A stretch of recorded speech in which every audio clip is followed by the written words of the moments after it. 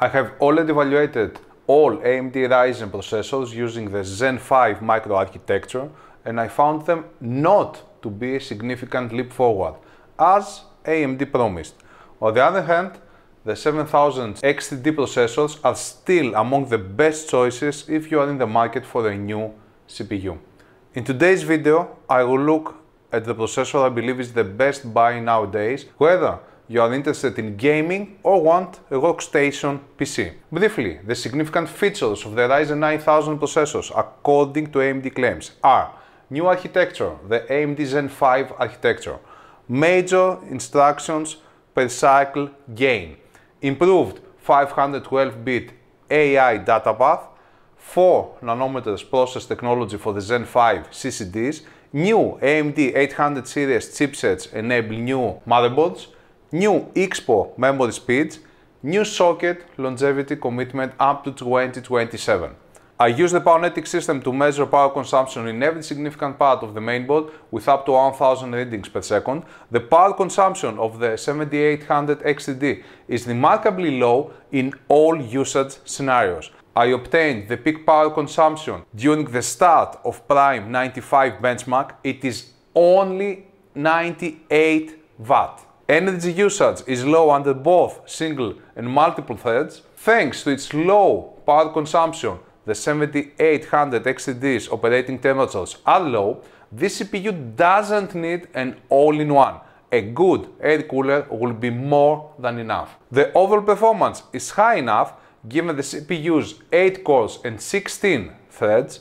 With gaming not included, the 7800 X3D retains the same place in the graph, but the performance gap increases. Because the Ryzen 9000 series processors perform poorly in AIDA's AES, I included overall performance scores, excluding gaming and AIDA 64 benchmarks. Only in this graph does the 9700X outperform the 7800 X3D. The 7800 X3D remains the top choice for gaming, followed by the 7950 X3D. Performance per watt is top in gaming for the 7800 X3D.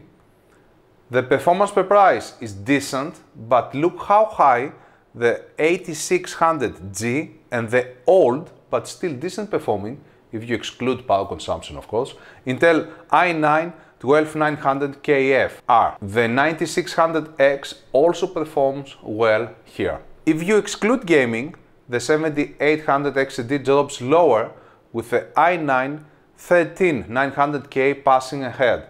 But this specific CPU consumes a lot of power. In this graph, all Intel CPUs have unlocked PL1 and PL2. Despite the increased differences in HD gaming performance, the 8600G 12900KF and the 9600X achieve a higher gaming per price score thanks to their notably lower prices. I should point out here that the price of the 7800 X3D has increased recently and the same goes for the 7950 X3D's price. Let's face it, AMD promised a lot for the Ryzen 9000, but in the end it had to release a PR explaining why reviewers had different results from the ones AMD's engineers provided.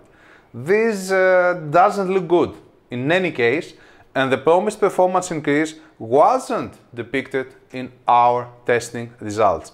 To make matters worse, the price tags of the 9000 series processors are high, mainly the ones of the high-end models, providing an edge to the 7000 X3D series processors. So, as long as the stock of the 7000 X3D products and before AMD increases their prices to prevent internal competition with the 9000 line, I suggest you grab one if you want to upgrade or build a new system. The 7800 X3D is a high performance CPU, especially in gaming. If its 8 cores are enough for your everyday needs, it won't have a problem meeting your demands for the upcoming years. Moreover, its power consumption is low, so it doesn't need a super strong and expensive cooling solution to handle it.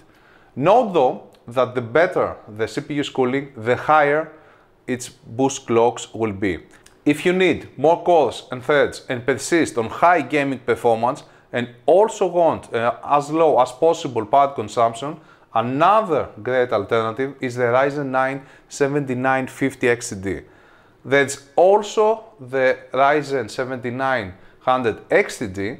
If you desperately want one of the new generation Ryzen CPUs, the one with the highest performance per price is the 9600X in both applications and gaming. That's all. Bye bye.